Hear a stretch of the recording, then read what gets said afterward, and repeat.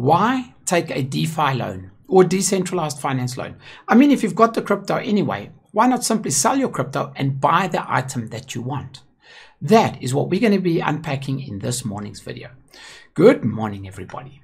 Now, in a recent article on MoneyWeb, where it explains some of the things that I did with decentralized finance, a lot of you guys that follow this channel, you know this, um, the type of DeFi things that we talk about. And let's just quickly scroll through this article. In fact, in this video, you can go and watch a little bit more detail of exactly what happens in the DeFi space and some of the amazing things that I've managed to accomplish with DeFi. But what happened was I got a flood of people reaching out to me saying, Richard, this is amazing. We'd like to know more about decentralized finance and more about decentralized finance loans. Please come for coffee, come for a beer, come for lunch. I want to spend an hour with you because I want to get first-hand information on DeFi loans. So to all of those guys that have reached out from out to me, please don't take it personally that I haven't replied. I really simply just have been swamped with that type of request. In fact, I could have beer, coffee, or lunch for the next couple of years if I simply said yes to all of those engagements. But the most common question that I got was Richard, if you've got the crypto anyway, if you've got the collateral, why take a loan? Why not simply sell it and buy whatever you need? And that is what we're going to be going into in a little bit more detail. And then at the end of this video, I'm going to share a personal story with you as to why that is such a bad idea. Now, first of all, it's a bad idea simply because if you sell your crypto and buy the property, you only have the property. If you take a loan, a decentralized finance loan, and buy the property, you have the property and the crypto. Let's just go through a couple of aspects of these decentralized finance loans. First of all, no payment schedule. So you don't have to make any payments. You can extend the payments for 20 years, 40 years, as long as you like. Or if the price of crypto had to dramatically increase, you could simply pay off that loan. So you are not bound or obligated or forced to make any monthly payments. Second of all, if you don't make any payments and you never pay a cent back on the loan, crypto goes to naught. It doesn't matter. You simply walk away from the loan. No blacklisting, no bad credit. In fact, no one knows. It is only your collateral that put that is put at risk and lost. That trips a lot of people up and they don't understand what I'm saying. How can you take a loan where you don't have to pay it back and you don't have to make any payments? Once you start to understand how a collateral loan works, that will become clear. But I'm going to gloss over that. We can get back to that in another video. Then, of course, you know that you're going to get the loan. It is a permissionless loan. In other words, you don't have to ask your bank manager and hope and, you know, try and make sure that you've said everything correctly and you've submitted just the perfect documents and then it's a 50-50 whether you get the loan. It is a permissionless loan. So you know You've got the collateral, you're going to be granted the loan, and it's going to be a painless exercise. Normally takes less than 10 minutes. So these are some of the huge advantages of taking a loan and buying an asset.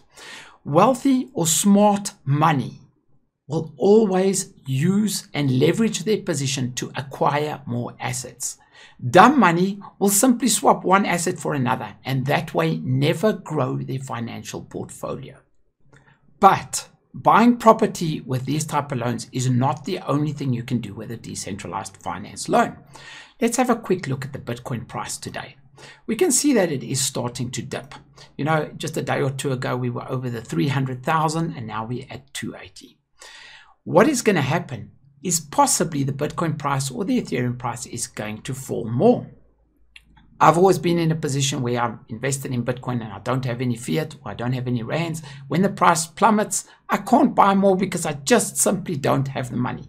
This is another huge case. If you are secure in the understanding and you really believe that the Bitcoin price is going to bounce back, you could simply take a decentralized finance loan, buy the dip. When the Bitcoin price goes back up, sell a portion, keep the profits, and pay off the decentralized finance loan. Now, I'm not a financial advisor, and this is called, called leveraging. It is risky. Things can go the other way and you can get hurt. But if you've been in the market for a period of time and you understand this type of flexibility, this type of leverage, it can help you to increase or grow your portfolio. But as I say, a caveat there, be careful. It can be risky. If things go the other way, you can lose out. A lot safer bet would be to buy a physical asset. This morning on MoneyWeb, there was a podcast published where we speak about some of the uh, opportunities in DeFi. We speak about the traditional financial system and we just banter and chat for about 30 minutes. I think it's quite entertaining and it's quite interesting. So I'm going to leave a link to three things in the description below. First of all, the first article from MoneyWeb. Second of all, the podcast. And third of all, the video where I spoke about, I spoke at the conference and spoke about DeFi or decentralized finance. But now it's time for a personal story. In fact, two personal stories.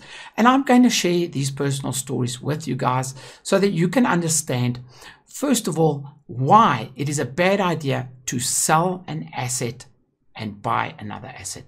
In other words, to answer the question that we originally asked in the beginning of this video as to why you wouldn't just sell your crypto and buy the property if you wanted to. Do. The reason I'm going to share these personal stories is to illustrate real life real world examples of what has actually happened to me personally. The first story, and if we look at this article, the headline sort of touches on it. I bought a property. They say 600K, but it was actually 650,000. And I took a DeFi loan. I then bought the property. So remember, I get the title deed. I am full owner of that property. The decentralized financial loan is not connected to that property in any way. I now own that property. But in the next couple of months, the price of Ethereum increased so dramatically that I was able to draw some of my collateral out of my decentralized finance loan and pay off the property. And that is how I ended up paying what is uh, expressed as 200,000 for a 650,000 Rand loan. So it is simply done because the price of Ethereum increased so dramatically that if I had sold my asset, my crypto, and bought the property, I would have then paid the equivalent of 600,000. But because Ethereum went up, I was able to sell just a fraction and pay it off, thereby keeping my crypto and keeping the property.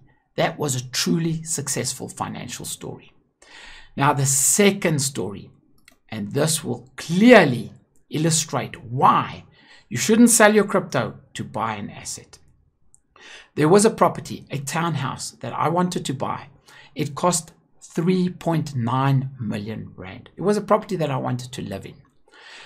So I went and sold my Bitcoin, but at that time, Bitcoin was around about 10,000 rand per coin. I know that sounds crazy because if we look at Bitcoin now, it's 280,000. But at that stage, it was around about 10,000.